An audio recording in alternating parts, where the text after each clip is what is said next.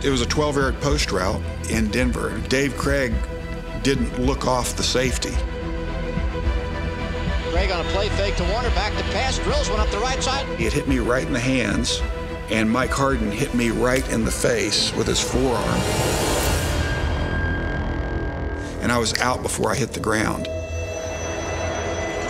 Largent is down after taking that hard shot to the head by Harden. And boy, his head just snapped right back. Steve Largent took a mean, mean lick. You don't lead a guy into the middle like that. That was one of the more violent collisions I've seen. Mike Harden broke a couple of his teeth off. Wicked. Cheap shot, in my estimation. The league fined Mike Harden for it. And Steve Largent right now is laying on his back at the 40-yard line. You know, his eyes are still closed. I think he's out on the field. I was watching on TV with my mom.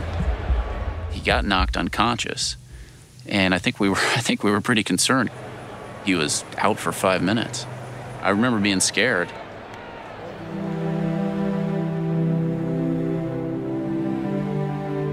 Fourteen weeks later, Largent faced Mike Harden again. Neither logic nor reason can explain what happened next.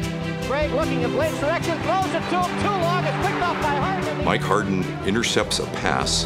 You're watching this play, in comes this streak, and it's Steve Largent. Not only levels Harden, forces the fumble, and recovers it.